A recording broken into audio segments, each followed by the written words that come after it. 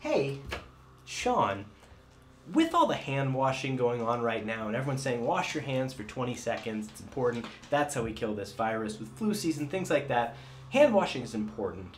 But I feel like most people make a huge mistake when they wash their hands, when they go through the process. And so I want to wash my hands real quick and see if you can spot the problem with how everyone washes their hands. But this is the 20 second hand wash. We're gonna get our hands wet.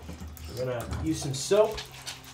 I didn't really turn on the faucet full blast, but I'm okay with it right now. We're doing like 20 seconds. We can sing happy birthday to Justin or Jay or my other three subscribers and viewers. Happy birthday, Jesse. Happy birthday, Anne. Anne's birthday is coming up. Happy birthday, Schwade. Her birthday is coming up as well. So hands are good. I'll even come down to the wrist a little bit. I'll be aggressive. And then rinse the hands real good. Make sure we get it all. Turn on the water. Dry our hands. And we are good to go. Now, the big mistake, and I don't know if you saw it, uh, happened toward the end of the hand washing. And I feel like I watch people make this mistake. And they have these, lo- like Mark Rober made a video. Uh, so there's been a lot of videos where there's these lotions and powders that you can put on your hand to simulate germs. I don't have access to that. I didn't bother. I don't know that I would want to put some strange blacklight substance all over my hands. So instead, we found a workaround. Come here real quick. Peanut butter can do many of the same things that these uh, these lotions do. So we're just gonna take some peanut butter and rub it into our hands like this. And this peanut butter is gonna simulate the coronavirus. There we go. I have flu virus, coronavirus on my hands. We don't need special light to see it. So now let's examine the process of when we wash our hands when we can actually see the germs a little more clearly. So we're gonna go through the process the same way we did before. We're gonna turn on the sink. We're gonna get a little bit of soap on our hands. There we go. And wash it for 20 seconds to make sure we get off all of the coronavirus. And you can see that soap, any kind of soap, really does the job in getting rid of the coronavirus. Give it a good 20 second wash.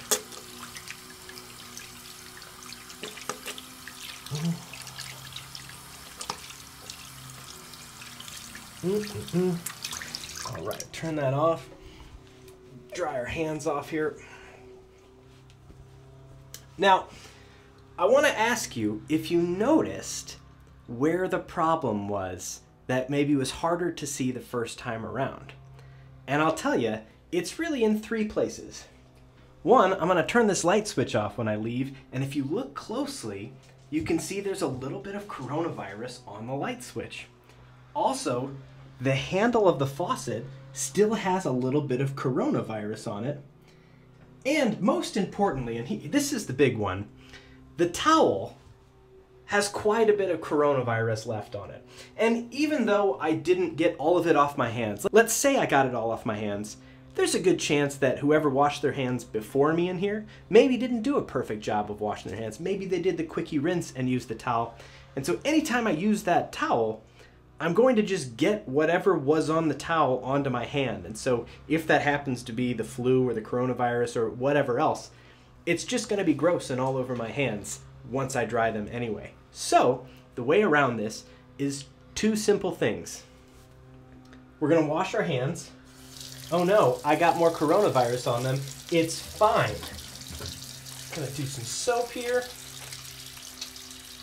Do our 20 seconds. Mm. And the two special things that are going to make it even better this time is one, I'm not going to turn off the faucet yet because I just touched that handle to turn it on.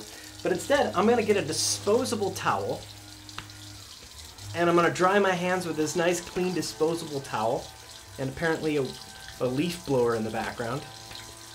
And then I'm going to use this towel to turn off the faucet and shut off the light.